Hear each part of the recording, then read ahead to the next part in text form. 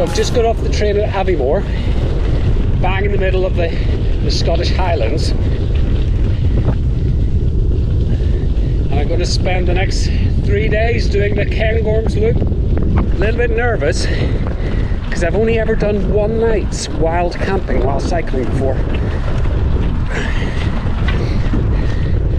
And I'm planning on doing three.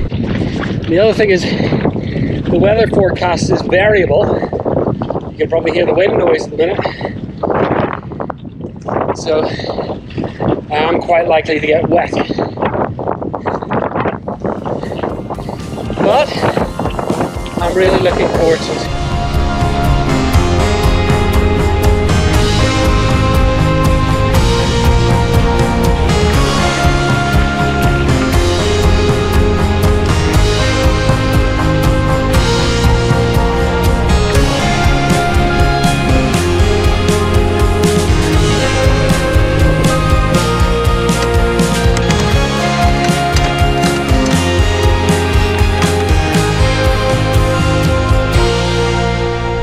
The Lochlands, which I means a little luck.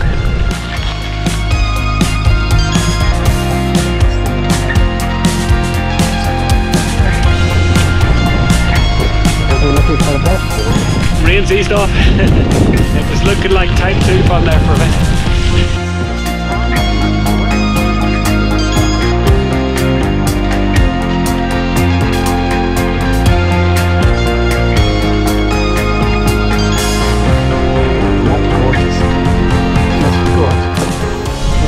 Hydroelectric probably explains why there has been tarmac up here. Said that, there doesn't seem to be any water behind the dam. I assume it's the, the dry spell we've had. There's some water up here, but it's not enough to feed that little, the little river.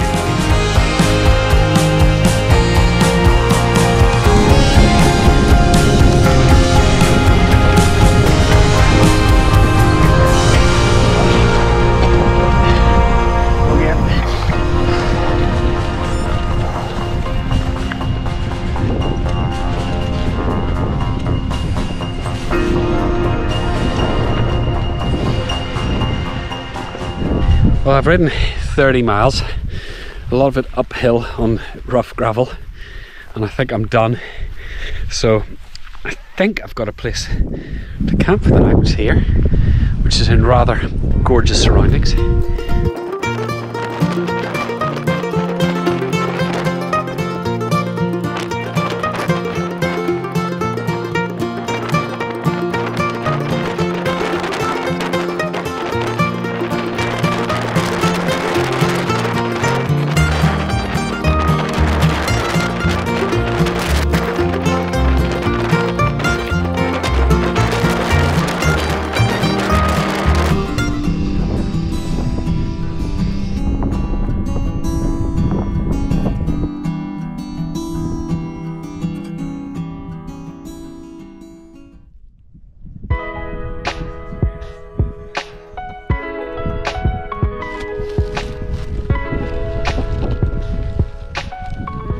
Day two, our first full day of this route.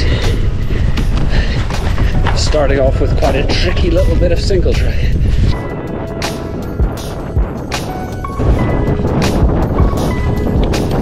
Hike a bag.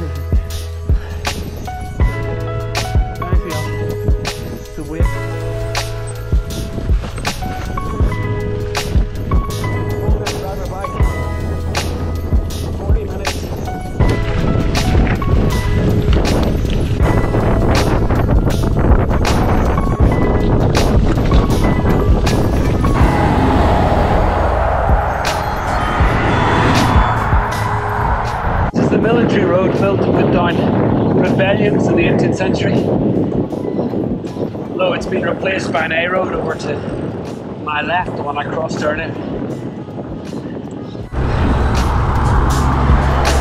Scottish Gothic. The other one.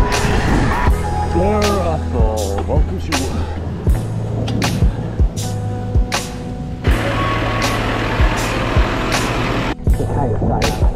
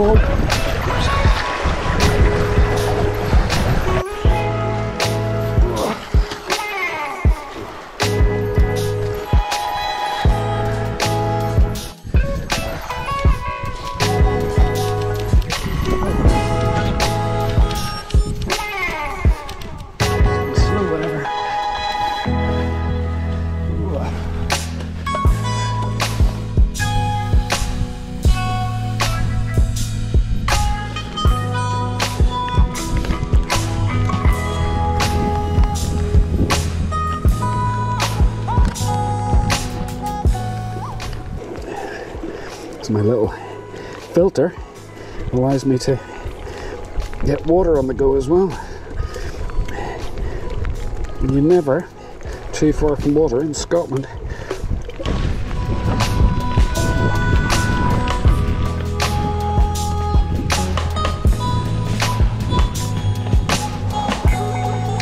In for a big climb now. Some reason attacked by bees. Wasps. Oh, there's bees nesting there. That's why. I haven't been able to close the gate properly because there's a wasp's nest in there. This one. That one, yeah. Because I've been stung. they just swarmed me and stung me, so. Okay, cheers, thanks.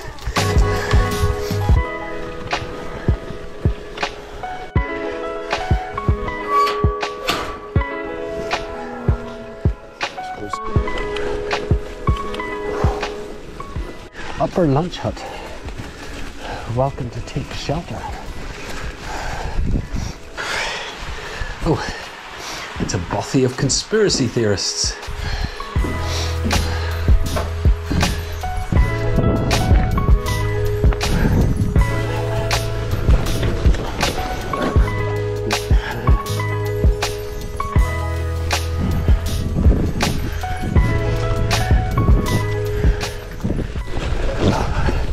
Finally got to the top of that. Oh man. Thought uh, Garmin said it was the top of the climb.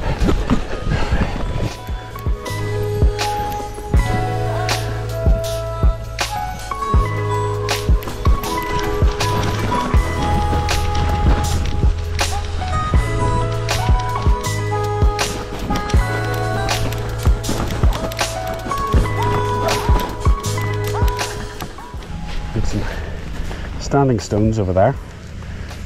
Somebody's been putting on a play. The Battle of Glen Glenshee. Death to the Caterans was the cry from the Glen Glenshee farmers in 1606. For this year's the last and bloodiest of all the Cateran raids.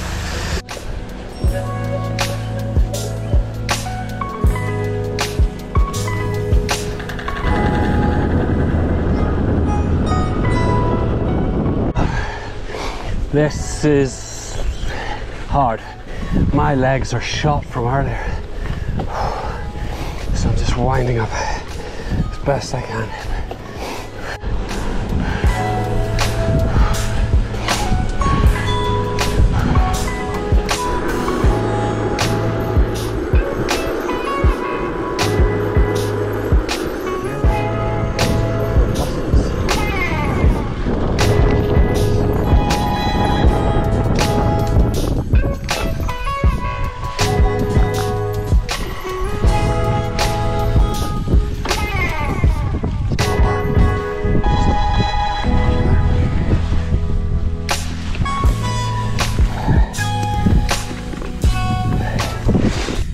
Only done 58 miles, and you know that was a one of the hardest 58 mile rides I've ever done. Absolutely brutal, and um, probably partly due to my lack of technical skills, but I had to do an awful lot of hike a bike, huge amount of hike a bike. Uh, found a campsite, which seems a reasonable place to camp apart from there's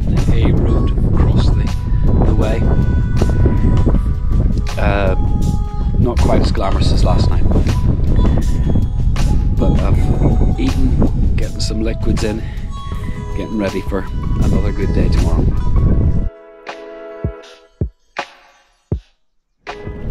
So, day three of the Cairngorms Loop. Full day two.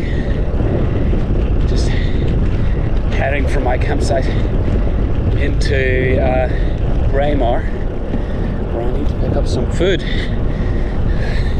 I thought I had plenty, but uh, bars in particular I got through very quickly. It's been a tough, tough ride yesterday. I'm hoping it's slightly easier today. My legs are feeling it.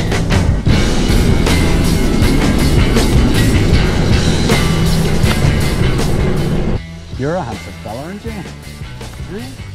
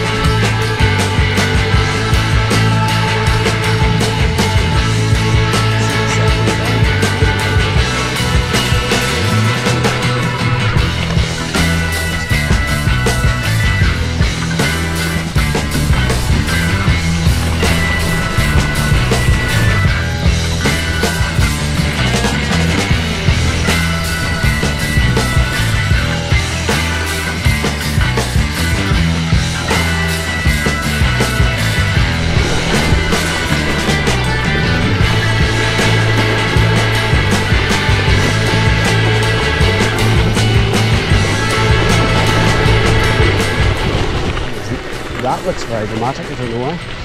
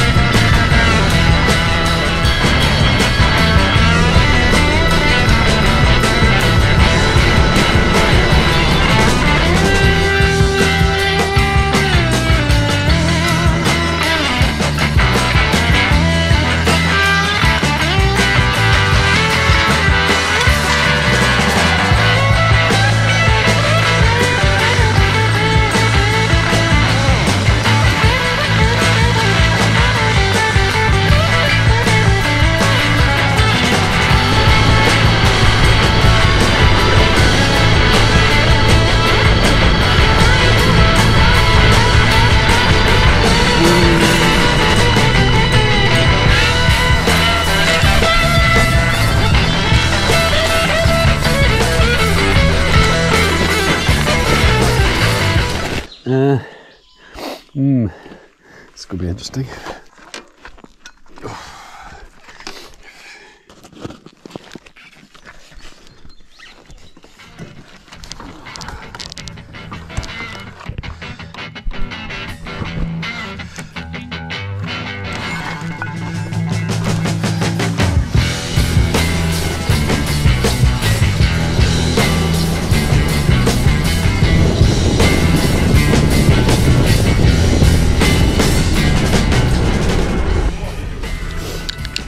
Trying to find a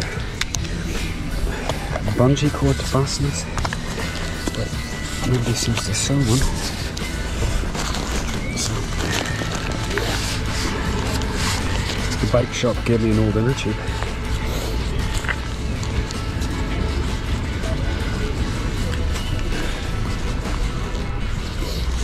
It's not pretty, but it's doing the job.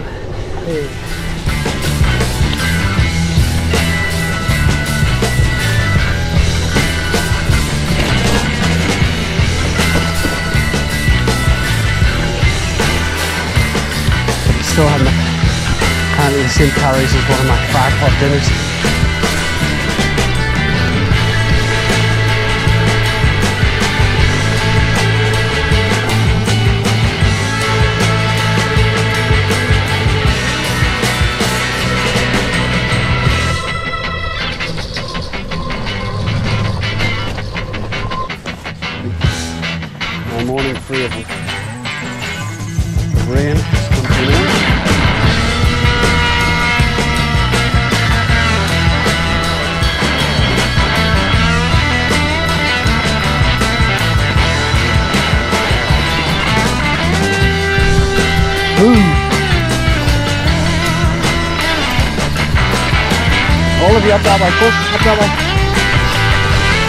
That's it, go, go, go, go. That's it, you go. Go on. Go on. Go on, go. Go.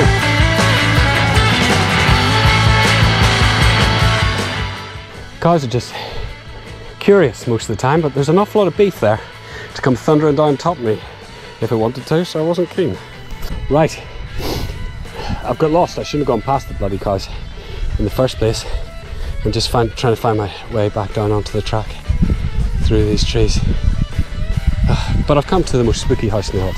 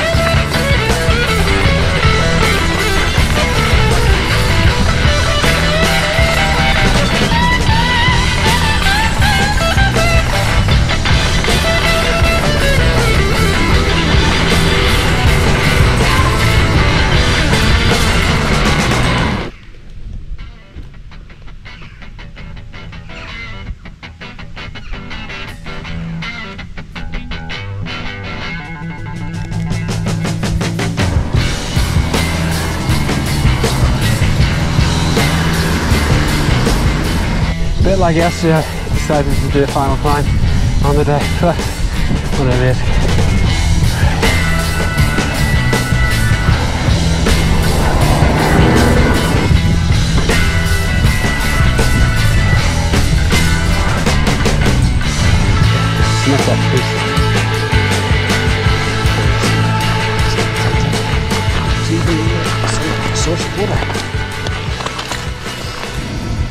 Realised last night if you're wild camping it's really good to pick a, an old ruined building because the ground's quite flat in the middle and you get you know the low walls give a bit of uh, shelter both for the tent and for cooking and there tend to be quite a few flat stones around that make things easier too. So that's my my top wild camping tip. Third morning fourth day's riding, although it should be a short one today. And but I do look as if I've slept in a hedge. Looking forward to getting a shower and properly clean tonight. Uh, here's my place stayed last night. It must have been a reasonable sized farmhouse once upon a time uh, before it was le- left to crumble. Um, bit of a strange one last night. An uh, official estates vehicle turned up down at the gate. I thought, oh no. Um, and they took quite a while to get through the fence. I assume they were checking. There's a couple of uh, traps down there, so I assume it's the gamekeepers out on their evening round. But they just trundled up the the lane here behind me, past. I gave them a nice little wave, and they gave me a wave back and went on. So, thank goodness for Scottish access laws. That's all I can say. But uh, yeah, it's a nice run into Aviemore this morning.